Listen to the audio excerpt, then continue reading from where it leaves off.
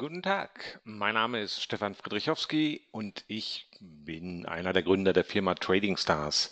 Aber heute geht es ähm, um unseren Partner Argus FX. Argus FX hat nämlich eine sehr interessante Social Trading Plattform namens Argonaut aufgesetzt. Und genau diese will ich heute Ihnen ein bisschen im Detail mal vorstellen, so dass man sich schnell da zurechtfindet und ähm, da auch seine ersten Aktionen machen kann.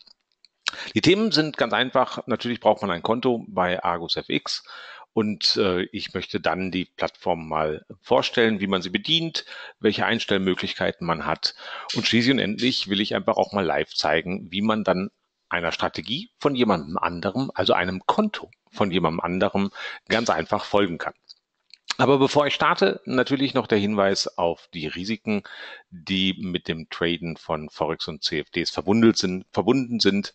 Diese beinhalten nämlich ein sehr hohes Risikopotenzial, dessen man sich auf jeden Fall bewusst sein sollte. Und daher auch hier nochmal der Hinweis. Aber starten wir gleich durch. Also gehen wir natürlich einfach zum Broker Argus FX auf die Internetseite von ähm, ArgusFX. Die ist recht einfach zu sehen, argusfx.com. Und wer äh, nicht sofort auf der deutschen Seite landet, der hat die Möglichkeit, natürlich die Sprache hier entsprechend auszuwählen. Die ist bei mir schon auf Deutsch gestellt. Ja, das erste, was man natürlich braucht, ähm, um weiter auch nachher handeln zu können, ist ein äh, Trading-Konto. Ähm, das ist wie immer ganz einfach. Also man klickt einfach auf Trading-Konto eröffnen, füllt es entsprechend aus und hat äh, sehr, sehr schnell alles Erforderliche, um auch traden zu können. Das Gute ist, wir, um das mal vorzustellen oder auch für Sie, wenn Sie dann mal sich damit vertraut machen wollen, können Sie auch schon erste Schritte im Argonauten machen, auch bereits ohne dass ein Konto vorhanden ist. Wie findet man den Argonauten? Ganz einfach, zwei Möglichkeiten. Entweder hier oben unter Trading gibt es einen Eintrag Argonaut-Plattform oder noch ein bisschen schneller gibt es das Ganze hier unten nochmal und da klicken wir einfach drauf und landen automatisch beim Argonauten von Argus FX. Ja, und hier ähm, gibt es natürlich die Möglichkeit, sich entsprechend jetzt wieder zu registrieren ähm, oder einen Login zu machen.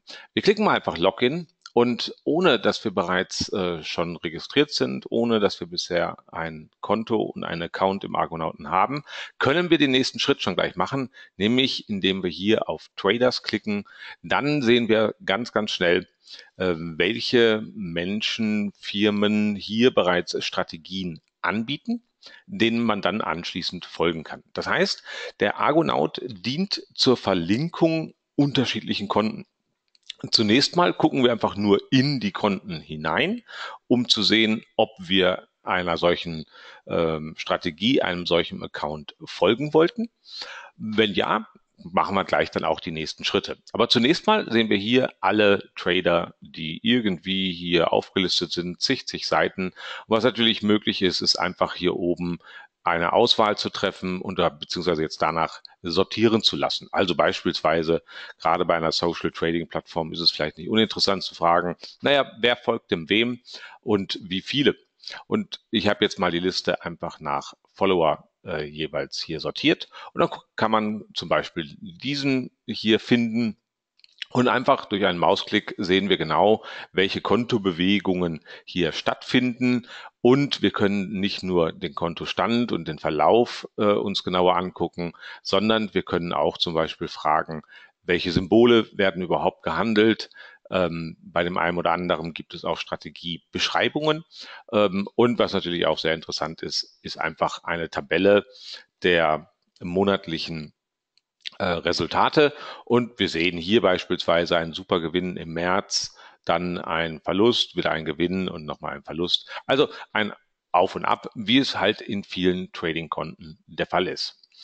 Jetzt will ich, um gleich aber auch den Schritt zu machen zu können, ähm, einer Strategie wirklich ähm, den Autocopy zu aktivieren, werde ich mich mal kurz einloggen in die Plattform. Das heißt, ich bin hier schon äh, registriert, ich habe einen Benutzernamen und ein Passwort und kann dann äh, nachher auch die entsprechenden Schritte tun. Der erste Start ist natürlich wieder genau der gleiche, nämlich ähm, ich gehe wieder auf Traders Und all die Dinge, die ich jetzt im Moment noch zeige, gehen natürlich genauso wie gerade eben auch bereits ohne, dass man einen Account hat und ohne, dass man bereits registriert ist. Jetzt will ich natürlich hier mal eine Auswahl treffen. Naja, also mich interessieren natürlich eigentlich nur Realkonten, keine Demokonten. Und wir können jetzt hier einfach mal einen weiteren Filterfunktionen äh, verwenden. Ähm, sind zahlreiche vorgesehen. Ich sag mal einfach, ähm, fangen wir mit maximalen Drawdown an. Naja, ich bin bereit, äh, vielleicht 15 Prozent ähm, zu auch äh, zu verlieren, aber ich möchte auch äh, ein, ein Konto suchen, wo auch Aktivität tatsächlich passiert. Deswegen sage ich einfach, 100 Trades sollen da einfach schon mal durchgeführt worden sein, damit ich nicht ähm, hier vielleicht nachher nur auf ein Konto treffe, wo gerade fünf Trades gemacht wurden. Und wenn ich schon bereit bin, 15 Prozent zu verlieren, dann möchte ich aber wenigstens die Hälfte auch als Gewinn beispielsweise haben. Wenn man eine solche Auswahl trifft und dann auf Search klickt, dann wird man automatisch ähm, ausgewählt. Also man kriegt nur noch die Trader zu sehen, die seine Vorgaben erfüllen. Und da haben wir hier beispielsweise eine unter dem Namen Lambda Strategies ähm, Forex Fächer M5 und können uns diese zum Beispiel auch dann wieder genauer anschauen. Das heißt, genau wie gerade können wir hier jetzt wieder den Kontoverlauf sehen. Wir sehen hier auch wieder ein Auf und Ab mit einem Netto-Zugewinn, äh, einem langsamen Anstieg. Auch hier natürlich nochmal wieder, oh ja, da werden also offensichtlich äh, ziemlich viele Währungspaare ähm, gehandelt und auch das letzte hier nochmal. Wir können auch hier natürlich wieder die monatliche den monatlichen Erfolg oder Misserfolg uns genauer anschauen. Misserfolg gab es jetzt hier in dem Fall noch nicht.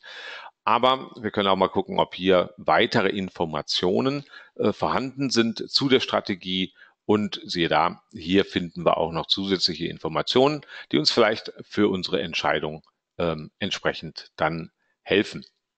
Ja, und wenn es soweit ist, dass wir sagen, hey, wir haben eine Auswahl getroffen, dann können wir natürlich einfach sagen, okay, wir wollen dieser Strategie folgen. Das geht jetzt tatsächlich natürlich nur noch, weil ich eingeloggt bin. Das heißt, ich äh, äh, tippe Autocopy ähm, das Autocopy ist einfach die Aktivierung, dass dann die Trades in mein Konto genauso einfach reinkopiert werden, wie das Leader-Konto entsprechend handelt. Aber was heißt jetzt genauso?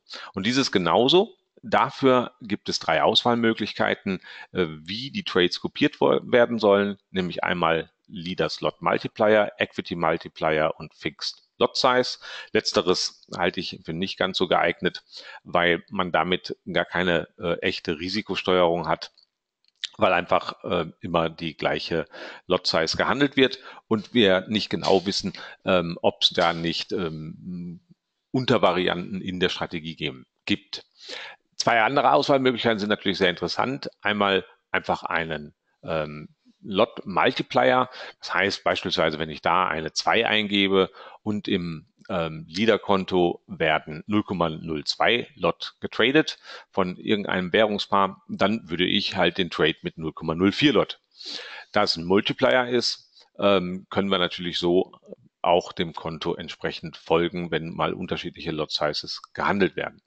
Die vielleicht interessanteste Auswahlmöglichkeit ist der Equity Multiplier. Der Equity Multiplier funktioniert folgendermaßen.